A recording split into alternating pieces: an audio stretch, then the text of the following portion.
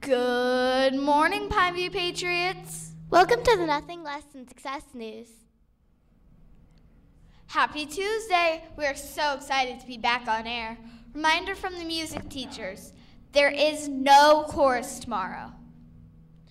Reminder tomorrow is Tijuana Flats night. Hope to see you there.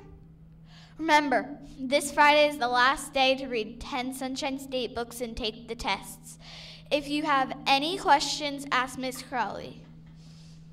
Today is Tuesday. Here is Coach Sherman with today's trivia question.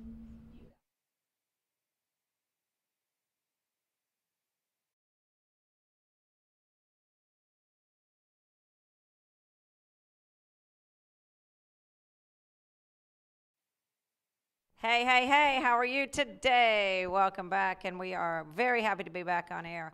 Our technical difficulties are gone. All right, here we go.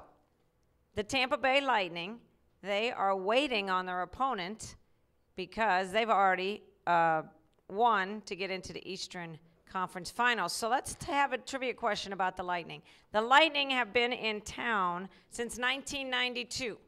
So I want to know how many years have the Lightning been in existence because they were a brand new hockey team when they came to to uh, Tampa in 1992. So how many years ago was that? Email me, write it down, figure it out. All right, and back to you, anchors.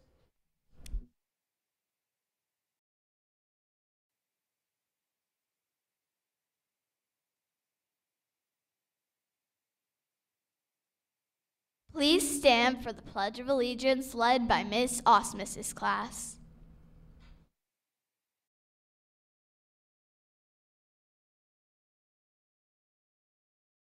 I. Pledge allegiance to the flag of the United States of America and to the republic for which it stands, one nation, under God, indivisible, with liberty and justice for all.